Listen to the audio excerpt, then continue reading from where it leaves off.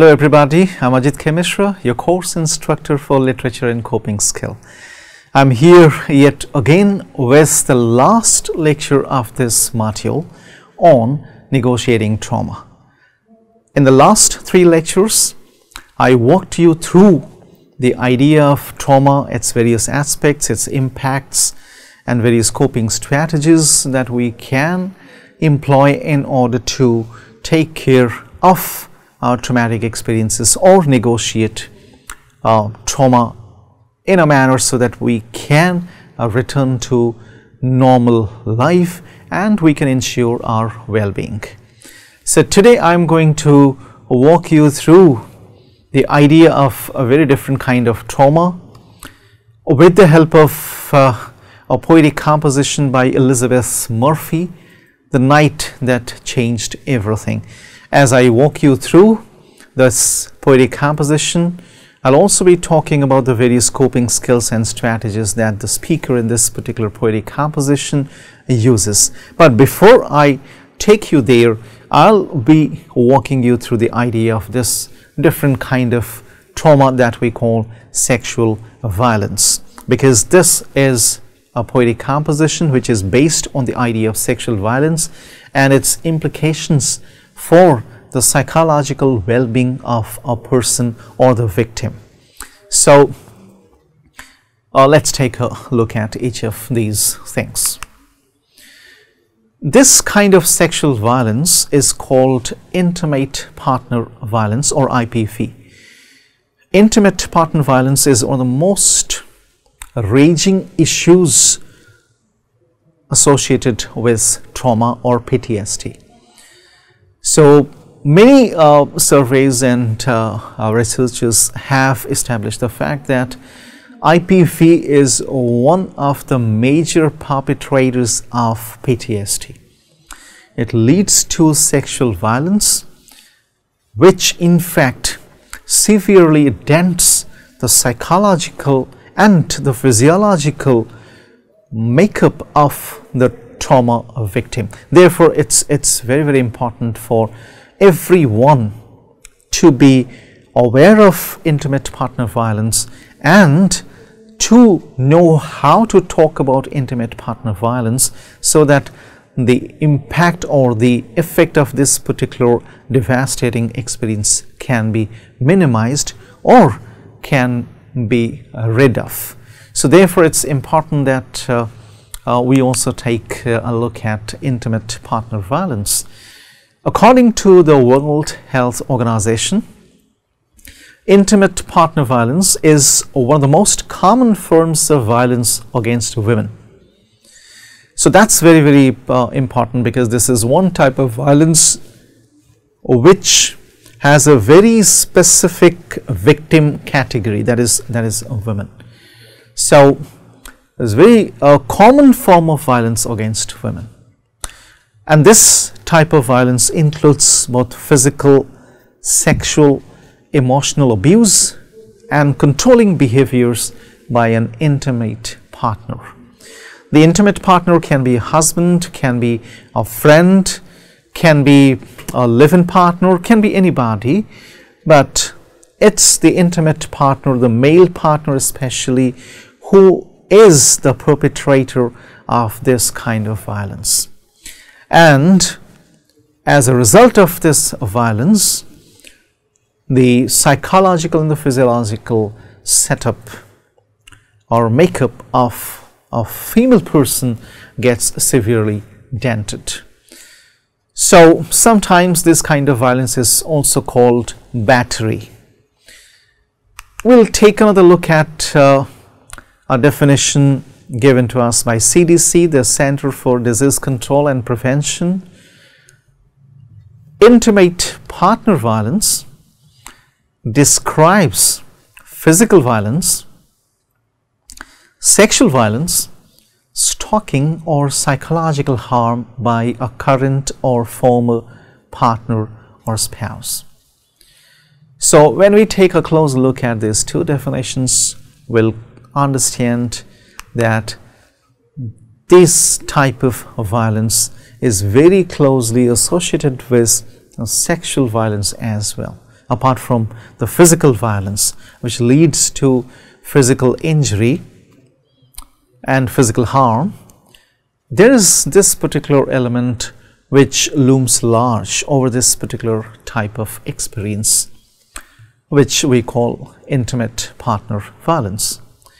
So, for our purpose of understanding the sexual violence, I'll be focusing on the various aspects of sexual violence and its implications for the well being or the altered well being status of the victim. So, let's take a look at sexual violence. Sexual violence also includes some kind of psychological uh, violence as well, uh, because uh, sexual violence, which begins as uh, a form of physical violence, in fact results in psychological devastations for the victim. Therefore, uh, it's a very complex uh, uh, kind of violence sexual abuse, sexual assault, or sexual violence. Sexual violence is uh, shockingly common across societies. That's, that's uh, something which uh, requires our immediate attention towards it because we can, with the little contributions that we can make, um, we can actually bring about certain positive changes uh, to this particular condition. So, sexual violence is uh, a shockingly uh, common phenomenon across all societies.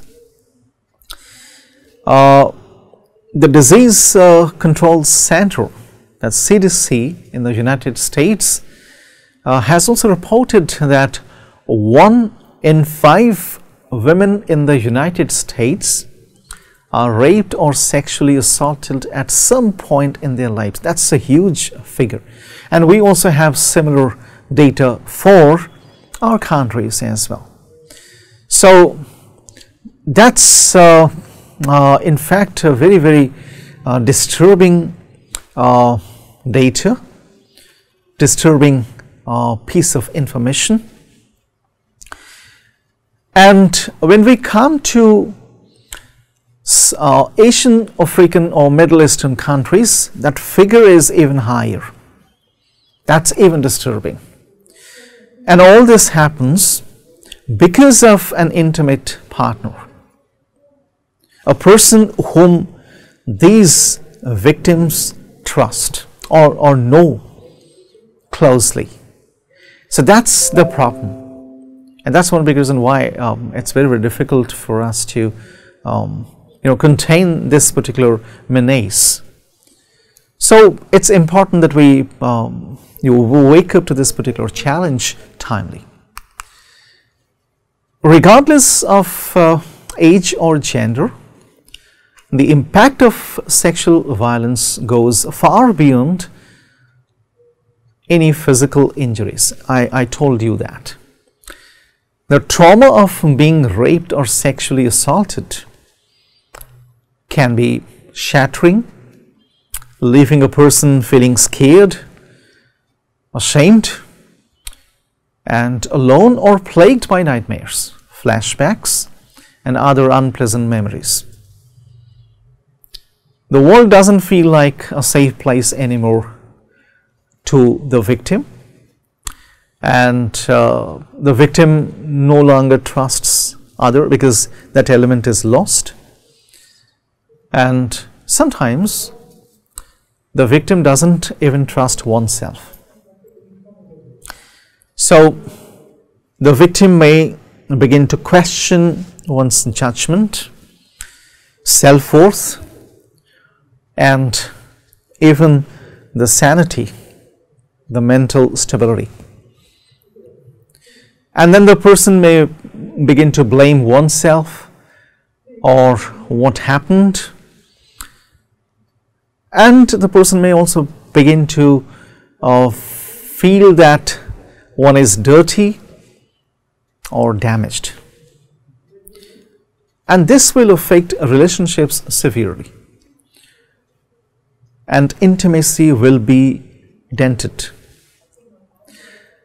And on top of that, like many rape survivors, people may struggle with PTSD, anxiety, and depression.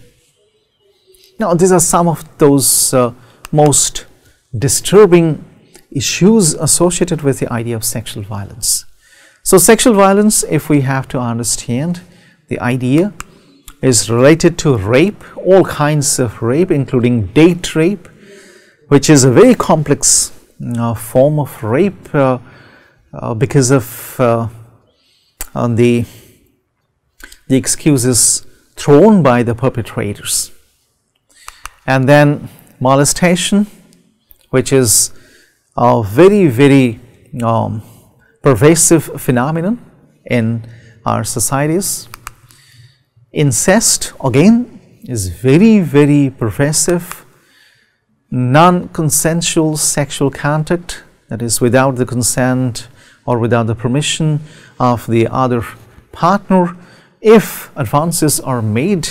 So it can be instances of fondling, it can be instances of groping, touching, bad touch, I mean.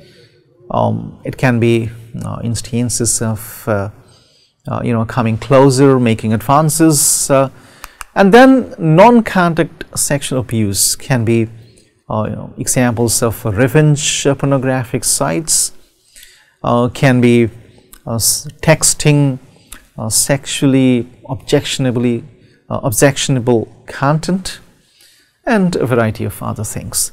So, sexual violence is uh, one of the major problems we all um, see around us. Therefore, we, we need to take care of, we need to, um, you know, grow our awareness of this particular menace. Uh, when it comes to uh, rape and PTSD, rape survivors or rape victims in fact pass through all those stages of PTSD that the non-rape uh, victims experience. Uh, so, it can be intrusion that means uh, rape uh, victims can relive the same disturbing event uh, through flashbacks, nightmares, even distressing memories. Um, there may be objects, there may be uh, ideas, there may be people, there may be things that will constantly remind these rape survivors of the uh, distressing memories or the traumatic experience.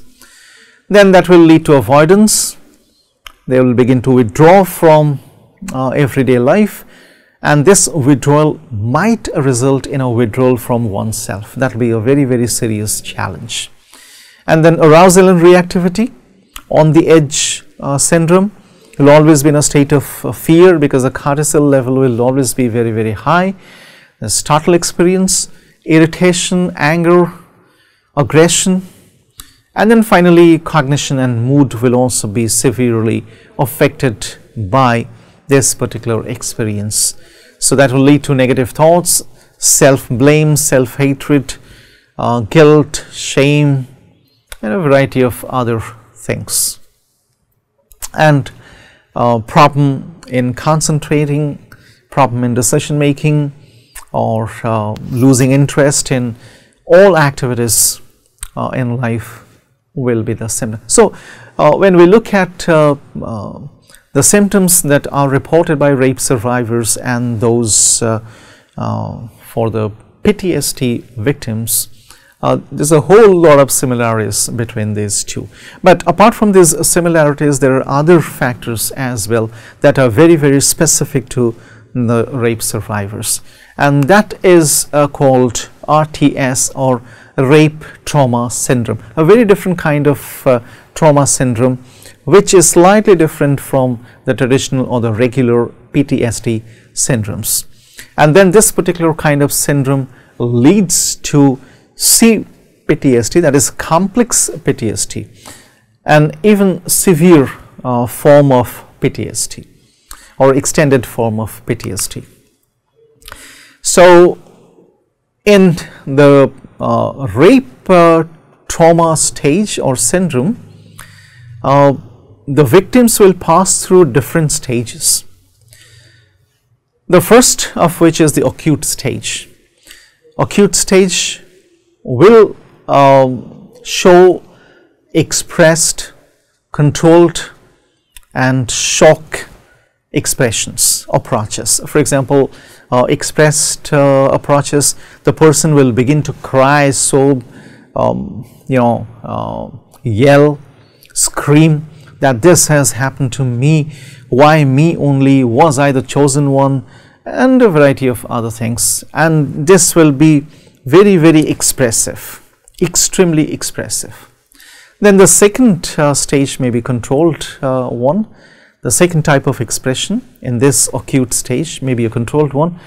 Uh, one will begin to show as if nothing has happened. One will try to hide uh, those uh, emotional disturbances or distressing emotions from others uh, owing to a variety of things, public shaming or losing one's integrity in the public and so on. So, it will be controlled. One will show as if nothing has happened and one will uh, show as if one uh, is normal and uh, everything is normal in his, I mean, her life. And then it can also be an expression of shock and disbelief. I can't believe this, I can't believe my friend, my partner can do this to me.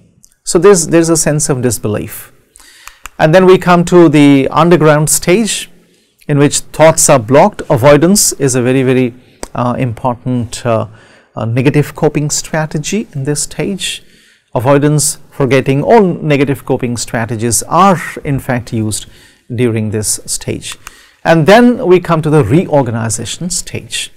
This is the stage where uh, the, the victim tries to uh, return to life through re-experiencing of all those traumatic experiences, re-experiencing of the traumatic event.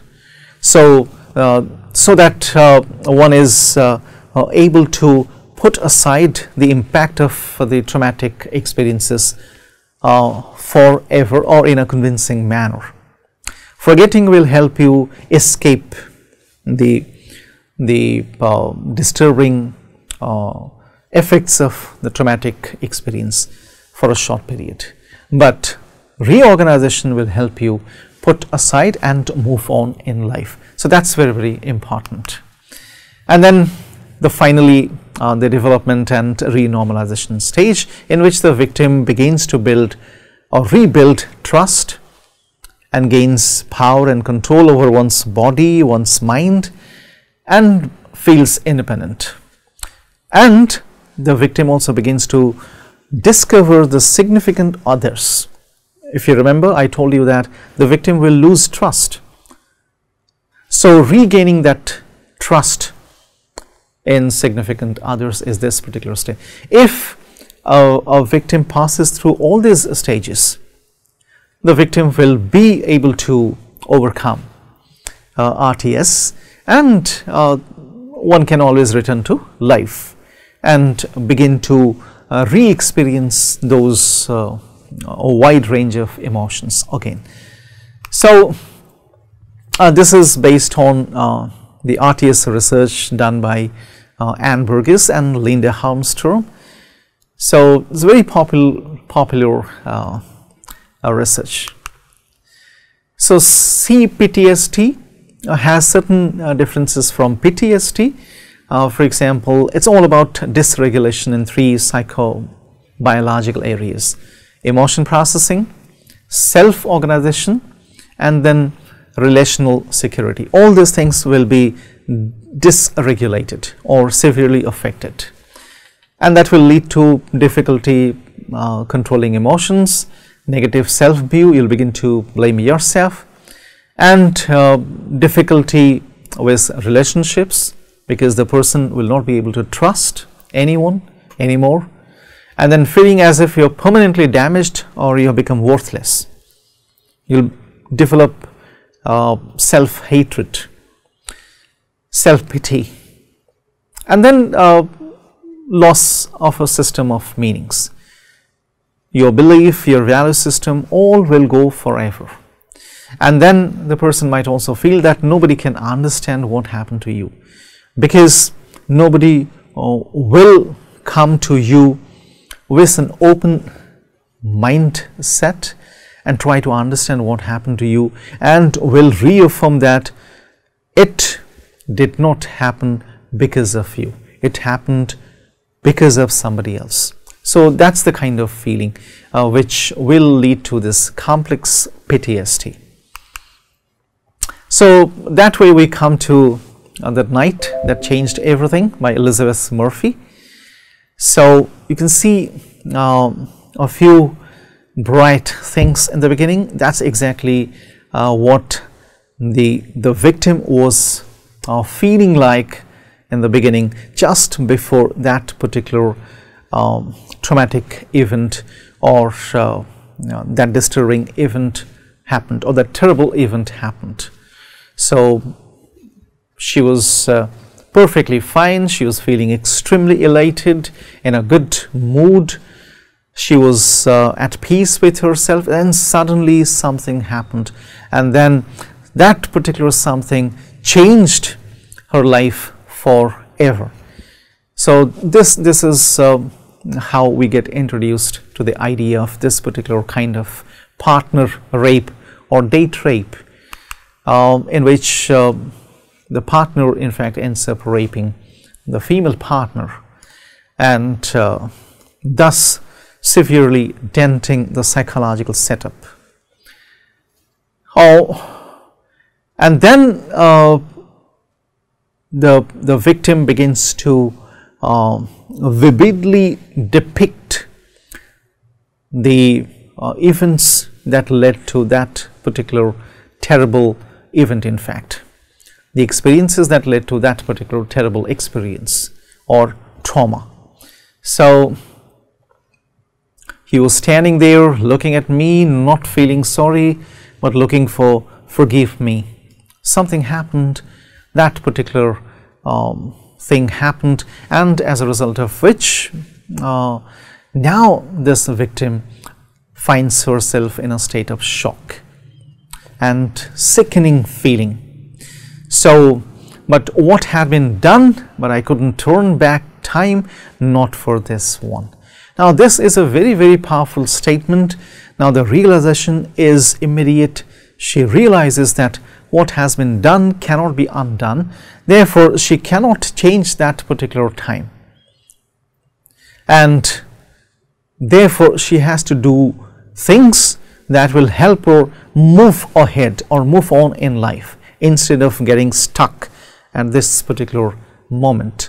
So, that is the kind of realization which uh, in fact uh, makes the victim here stronger although she is uh, shocked and sickened in the beginning.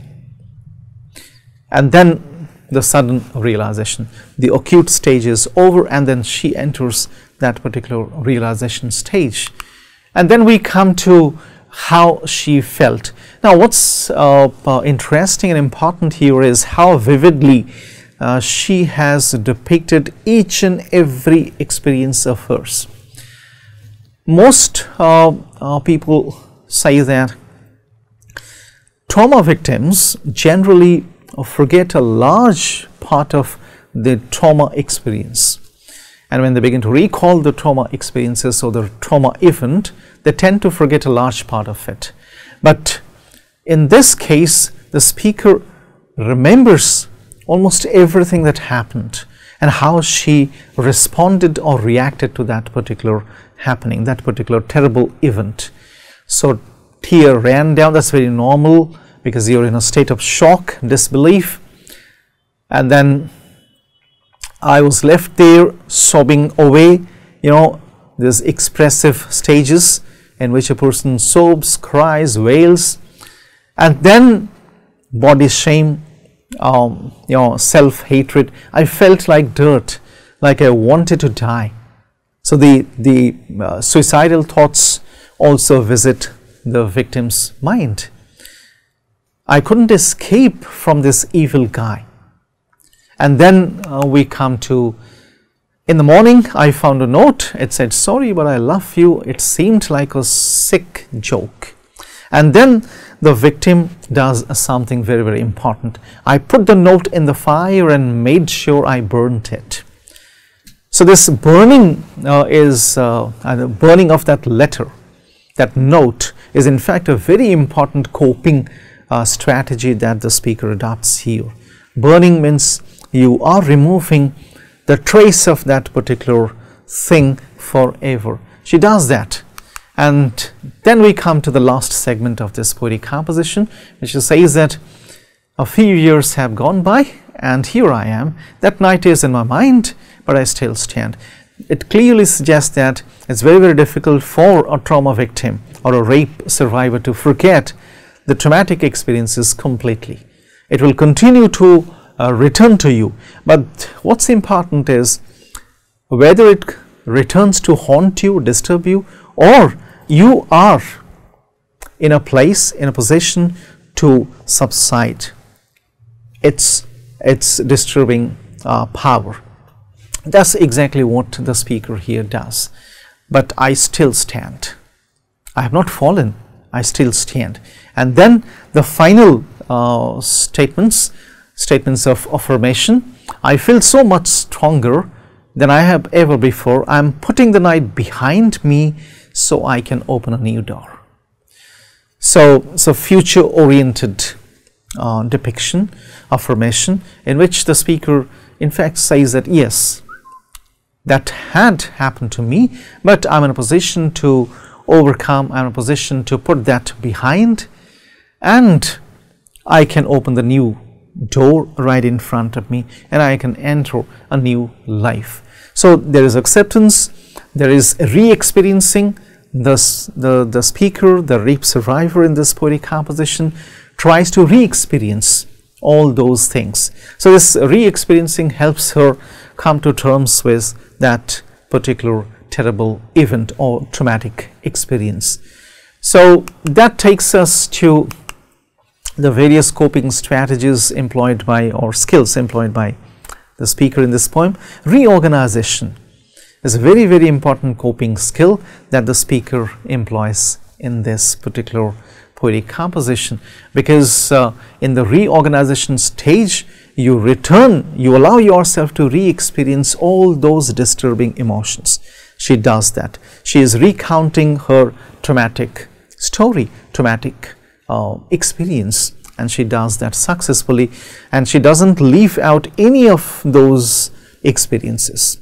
How she felt what happened to her and then what the perpetrator of that violence did and then how she responded every bit of it so the story is very very complete so she is not afraid of re-experiencing all those disturbing emotions yet again so that's the power of reorganization and then she goes for mental recalibration. You all know calibration is all about making little changes so that a device or system can work better. We do so with our smartphones periodically. We calibrate our smartphones or recalibrate them so that we they, they continue to work well or better for us. So that's exactly how we can also do to our mindsets. So the speaker or the rape survivor here does that. She goes for some mental recalibration. For example, uh, I cannot change what has happened. The only thing that I can change is I'll stop that particular feeling or experience continue to disturb me. I can do something to do that. I cannot change what has happened. So that is a kind of recalibration. And then towards the end, I have uh, decided to open a new door therefore I feel stronger because my my uh, system is again working well because I have gone for mental recalibration. So periodically we can also go for mental recalibration so that we make this mental system work better. And then time reorientation is a wonderful uh, coping skill that the speaker employs here. That means instead of uh, returning to the past time and again she is a forward looking person. She prefers to look at the future. So she is future oriented rather than past oriented. So she um, lives in the present I stand here and then she focuses on the future.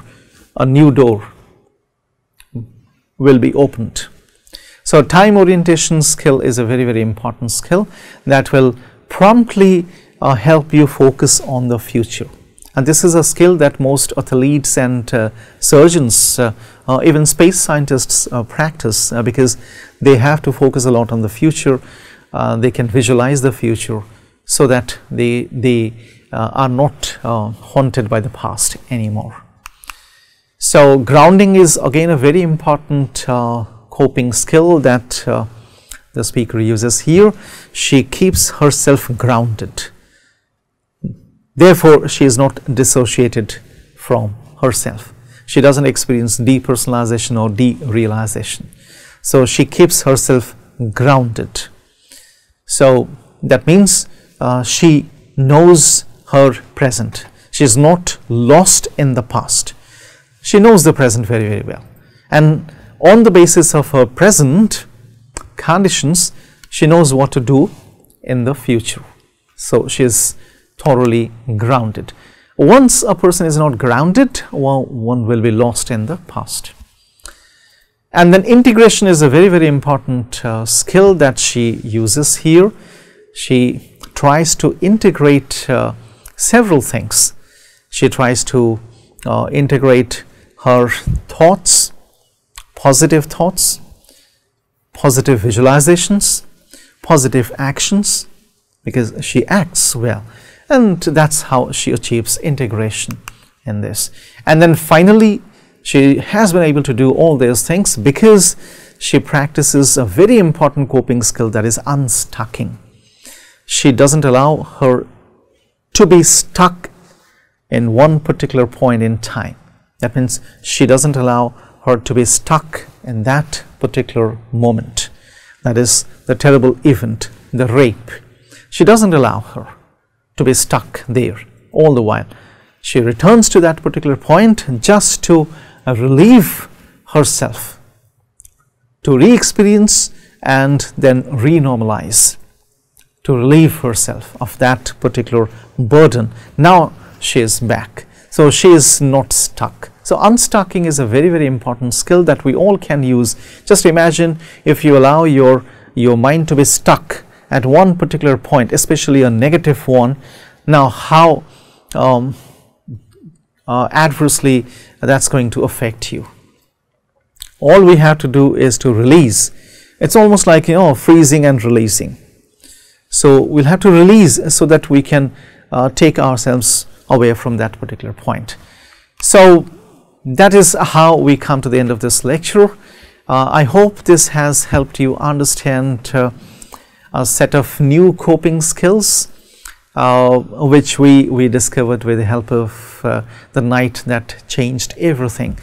Uh, so, when we meet next, uh, I'll be talking about a new module. So, thank you for joining me.